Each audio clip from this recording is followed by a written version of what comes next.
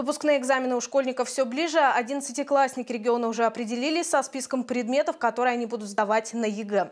А вот у девятиклассников есть еще время подумать заявки на ОГЭ. От них принимаются до 1 марта. Если говорить о девятом классе, то большая часть выпускников у нас сдает экзамен в форме основного государственного экзамена.